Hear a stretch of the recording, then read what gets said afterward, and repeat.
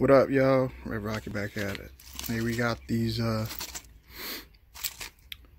the aluminum hexes in from Techno. They came overnight. That was pretty quick. Came from Jersey, but still, usually it takes, you know, three days. But this was overnight.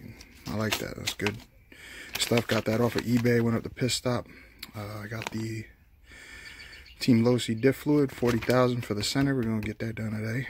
And I'm going to switch out the shock fluid. Uh, basically what I did the first week when this thing crashed and everything broke, uh, I mean, I bought a temporary plastic front knuckle, but what I did was I switched up the springs, which is fine, but I also switched up the uh, shock fluid and I put 50 weight in there and it's way too much. So when it jumps, it just thuds and it doesn't, there's no play and it. It's real stiff. So we're going to lighten it up a little bit. Uh, 30 and I think it's 37 and a half in the front, 30 in the rear. So got a little bit of work to do. Uh, I'm going to keep posting a little bit here and there what I'm doing and uh, get this center diff out. All right, y'all, we back at it. Um, so today we're gonna try to get this center diff out. And from what I'm seeing, we got these four screws here. And then this whole motor mount should just come out. And then I should just have to unscrew these two. And then I can slide the diff out so I can work on it. So that's the game plan. Let's see if it actually works, huh? Let me get a couple tools out here.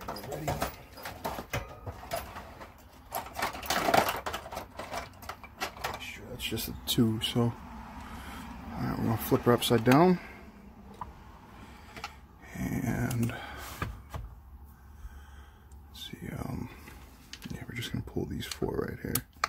Start with this. We're just gonna loosen them. I'm gonna use the mechanical one finish getting it out, make it a little quicker. So try and make this a fast repair here. I want y'all sitting here for another 10 minutes while I do this shit. I might actually pause some of it and just come back when shit's done. So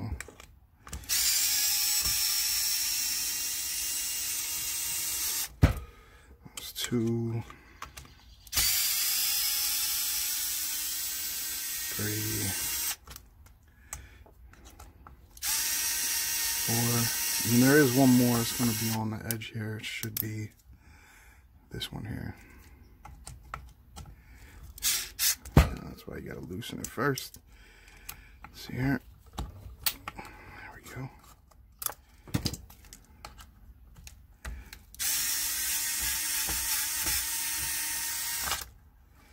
Alright, that's that. Now, I'm to flip this. This motor mount should just fall out. There we go. Right, the center dog bones. Set those aside for now. Alright, we got our motor mount and the diff. Now what I noticed uh, when I did the gear mesh, uh, was pretty hard to do it while it was mounted in here. So what I did was I just pulled this out, lined it up, and she's pretty smooth. It's all mod one. Alright, so hopefully what I'm about to do here works. I haven't done this yet, so I'm hoping that just removing this these two screws here will release the diff and then uh, hopefully I'll be able to just change this fluid out pop it back in and we're done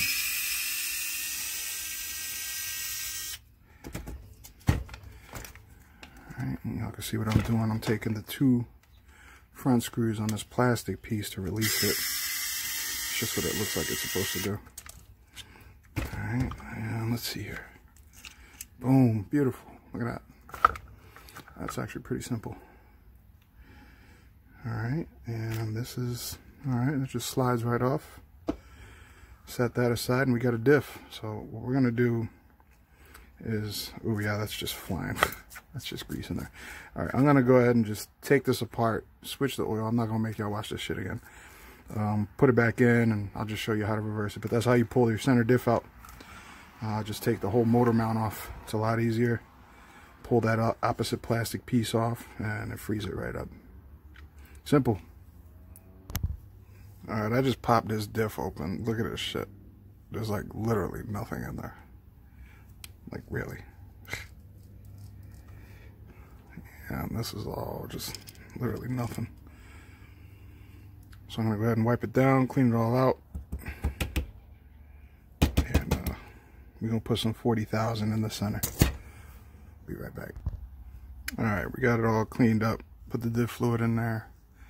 It's a little tighter, which is what we want. I mean, if you go with anything less, it's gonna just no different than putting grease in there, really. It was just spinning freely. This helps distribute the power evenly to the front and rear, depending on what oils you use in the front and rear as well, but whatever. Um, if you need to know how to uh, redo a diff, check my last video, which was the Hobao OFNA uh, rear diff access and oil change. I show how to take this apart and clean it up and put some diff oil on there. But what I'm going to do now is I'm going to go ahead and put this back together. Should be quick. Alright, y'all. Got everything mounted back in. It was real quick. Um, I think the only thing I guess that's a, you know, you should take note of is the small dog bone goes in the front and the large bone goes in the back. That's it, man. Just pop that shit back in there, reattach the plastic piece in the front here uh, first, and then I just dropped it back in there, put the bones in, and the only issue I had was that plastic piece that's in the front. You kind of got to bend it so that you can get the holes lined up. But once they're lined up, it goes right back in. I actually just turned it on and sounds pretty damn smooth. And then uh, I'm done with the diff oil. Uh, what I'm to do now is I'm actually to... I had all this stuff taped onto this platform here. And I'm going to retape it. And for that, I got some Gorilla mounting tape. Uh, they didn't have the 3M stuff and they had some other cheap shit, so I grabbed this instead. Hopefully that holds up. And uh, that's that, man. That was the center diff. Um, what I'm going to do, like I said, I'm going to tape all this stuff back in there. I'm done for today. And then tomorrow we'll go ahead and we'll try to attack this front diff. It looks the same as the rear. Hopefully it's that easy. And this was a cake job. I mean, the slash was a little more difficult. You'd have to pull off the whole front end and, you know, get to the diff that way. But this is like, it's right there. It's simple. The rear was awesome. And, uh, yeah, let me tape this stuff up and I'll be back tomorrow so we can do the front.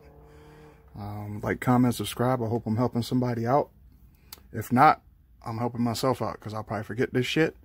Or if something ever happened to me, my nephews, my son, they get my cars, they got a way to look it up, how to fix them, how to put oils, and yeah, they're getting hooked up. But yeah, man, Red Rocket Racing. I'll see y'all.